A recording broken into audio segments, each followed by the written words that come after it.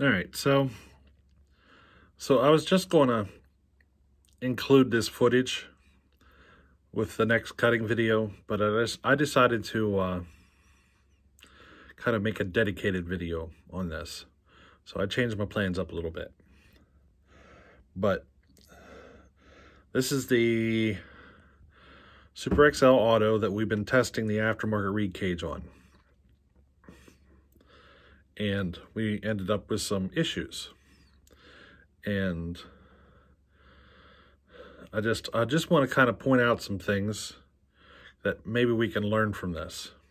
All right. Uh,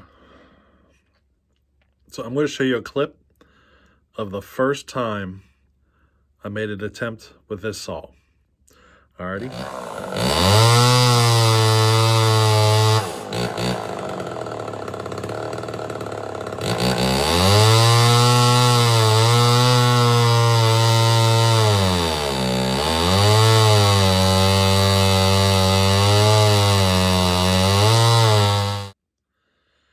So, you know, sounded lean, right? So this clip is a comment that I made after running it. All right. Uh, the high-speed circuit's not running enough fuel, not a high enough volume. But it's not running enough fuel. I can't get it to go rich enough. So we're gonna have to put that on the back burner. But it does run. I can tell it's smoother. You know what I mean? Like, I don't know, it just it feels smoother, but uh, I'm not pulling enough fuel. All right, so I made a little bit of few changes to the saw. I adjusted the uh, metering lever, and I made another attempt. So, the thing I want to point out here is listen to the way the saw is idling right now. All right.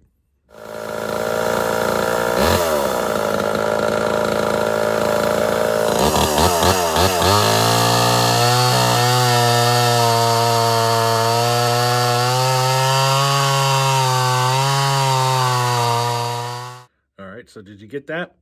Now, after I made a few cuts, I want you to listen to the way the saw is idling.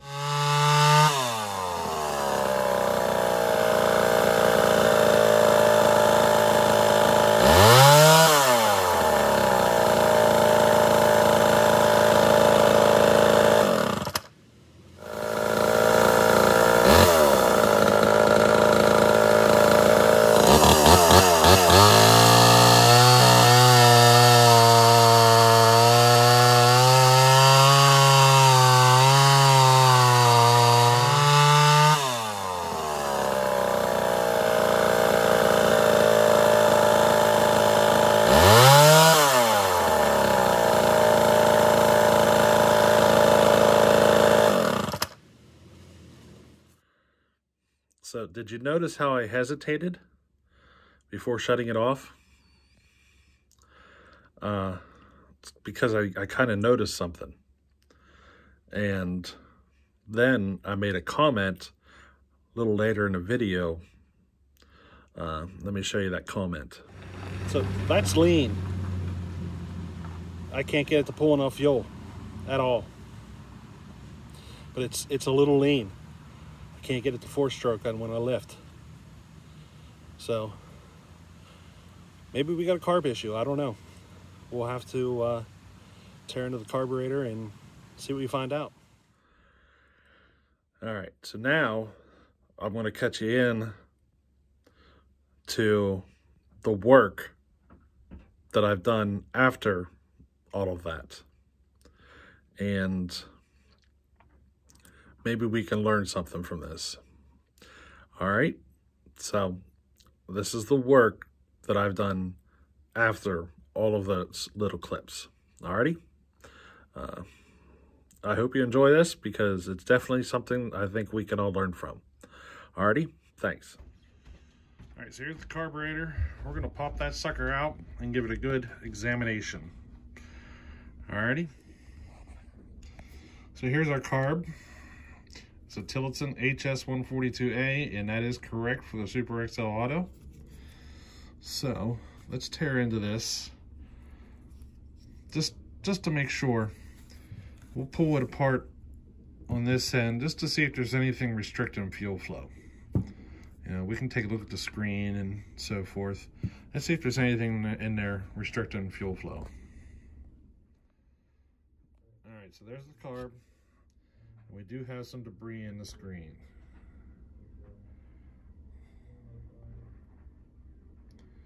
So we gotta clean that out, but you notice anything else? Um, let me point it out to you. Let me get the zoom back out. So you see how this end looks nice and clean and this end doesn't? It's all kind of dirty. Let me show you the gasket. There's our gasket. See how we're wet all the way to the edges? I think our gasket here is leaking. Sucking air. I bet you this sucker's sucking air right into the carburetor through this gasket.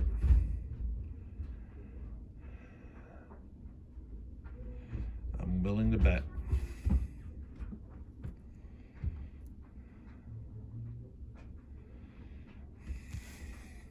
Let me show you another one, just uh, just so we can compare.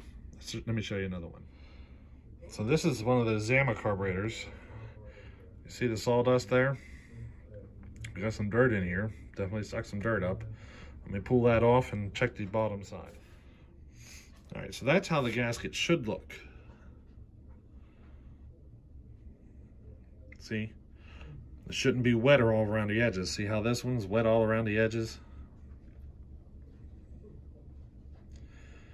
And I actually was looking and camera's not picking up on it, but that's actually wet down there. It was leaking fuel right inside there. Camera doesn't really show it, but it's it's wet in there. So it looks like an air leak in the carburetor itself. But want to point something out here. One of the issues I've been having is the fuel line. You know, it's one of these tiny ones. But the fuel inlet port on this carburetor is a big old fat sucker. So let me see if I can figure something out here. Maybe put a different fuel inlet port on it. Let me see what I got laying around. See if I can sort something out. All right, so I don't have any way of replacing the inlet port to get a better fit. And I don't have any replacement gaskets on hand at the moment. But here's what I do have. I have this Zama that has the correct size inlet port. And I have a kit for it. So that's the route I'm going to go, just because that's what I have on hand.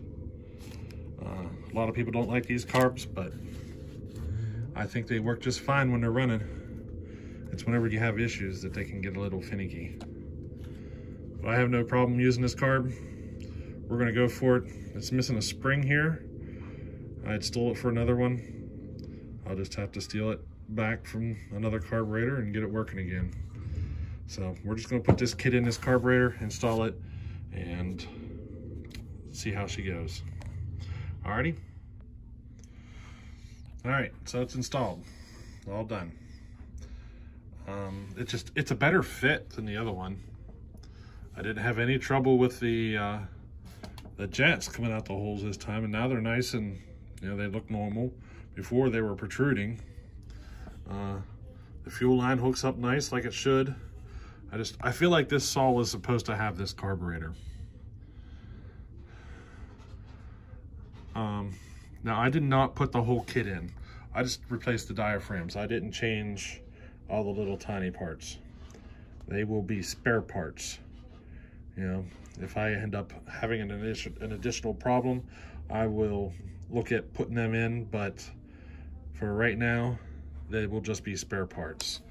This carburetor actually came out of a running saw. Uh, I just, you know, the, the saw had uh, scoring in the piston, carbon scoring. So whenever I pulled that saw apart, you know, but it was a good runner. So this was running whenever it was pulled out. And so I just replaced the, the gaskets is all I did. They were getting a little stiff. They weren't hard yet. They were just a tiny bit stiff. So that's what I did. I still have the aftermarket reed cage put in there. I did not change that out. So we are testing it with the aftermarket reed cage.